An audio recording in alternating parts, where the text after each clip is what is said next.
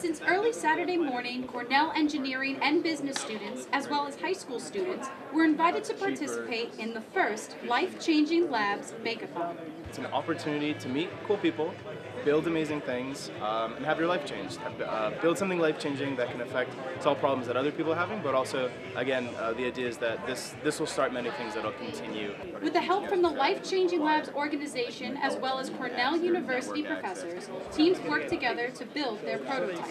We invited students from all different majors. We had biomedical PhD students working next to freshman CS students, working next to prospective students at Cornell, high school students who are coming in and um, building things.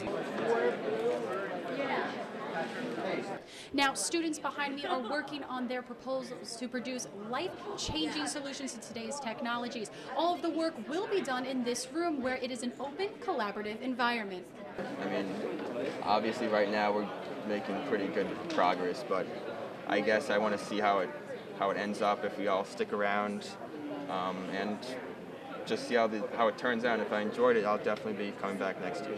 Aaron Weisner of Cornell University is one of the engineering students working on his prototype. There's a little keychains for RFID you can put on your keys, and when you're walking out the door, it'll automatically scan um, all all the RFID tags and see if you're missing anything important and let you know before you leave. The Life Changing Labs are looking forward to coming back to Cornell University next year. Reporting in Ithaca, New York, I'm Christy Calcagno.